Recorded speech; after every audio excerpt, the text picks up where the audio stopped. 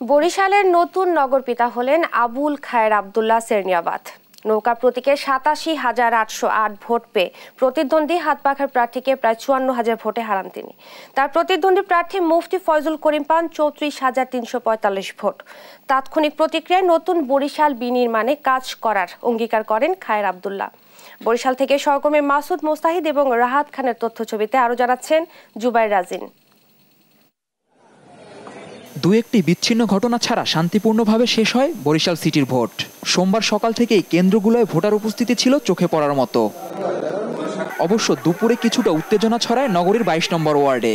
এখানে হাত পাখার মেয়র প্রার্থী ফয়জুল করিমের উপর হামলা হয়। অভিযোগ করেন, পরিকল্পিতভাবে তার ওপর হামলা করেছে আওয়ামী লীগের কর্মীরা। কেন্দ্র পরিদর্শন করতে সেখানে গিয়ে দেখে আওয়ামী লীগের লোক ভিতরে। আমি পিজিএন অফিসারকে বললাম যে, ভিতরে এই সমস্ত লোক কেন? এরপর তাদেরকে বের হয়ে আসতেছি এর মধ্যে আওয়ামী লীগের লোক তর্ক বিতর্কের মধ্যে মাঝখানে আমাকে আক্রমণ করছে। ভোট শেষ হওয়ার চার ঘণ্টার মধ্যেই আসে চূড়ান্ত ফল। নতুন নগরপিতা পান বরিশালবাসী। নির্বাচনে বেসরকারিভাবে নির্বাচিত হলেন জনাব আবুল খায়ের আবদুল্লাহ বাংলাদেশ আওয়ামী লীগ কর্তৃক মনোনীত প্রার্থী। উনি ভোট পেয়েছেন সাতাশি হাজার আটশো আট। একশো ছাব্বিশ কেন্দ্রের প্রাপ্ত ফলে সাতাশি হাজার আটশো আট ভোট পান নৌকার প্রার্থী আবুল খায়ের আবদুল্লাহ খোকন সেরনিয়াবাদ। প্রতিদ্বন্দ্বী হাতপাখার ফয়জুল করিমকে হারান চুয়ান্ন হাজার ভোটে। ফল ঘোষণার পর এমন উল্লাস ছিল খোকন সেরনিয়াবাদের সমর্থকদের।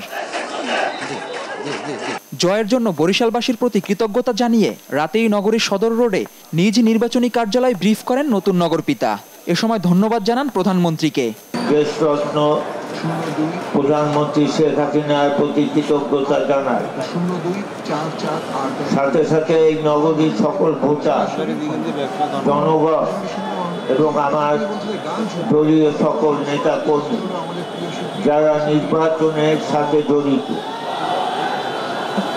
আইন শৃঙ্খলা রক্ষাকারী বাহিনী, সংশ্লিষ্ট সদস্য সহ সাংবাদিকগণের প্রতি কৃতজ্ঞতা জানাচ্ছি রাজনীতিতে খুব পরিচিত মুখ নন আবুল খায়ের আবদুল্লাহ। তার বাবা আব্দুর রব সেরনিয়াবাদ পঁচাত্তরের পনেরোই আগস্ট নিহত হন। আবুল খায়ের আবদুল্লাহ ওই রাতে দুপায়ে গুলিবিদ্ধ হয়েছিলেন। ভাগ্যক্রমে বেঁচে যান। কয়েক বছর দেশের বাইরে এবং খুলনায় নিজের ব্যবসা বাণিজ্য নিয়েই অনেকটা নিভৃতে ছিলেন তিনি। তবে মাঝে মধ্যে আসতেন বরিশালে এবং এলাকার লোকজনের সাথে দেখা সাক্ষাৎ করতেন।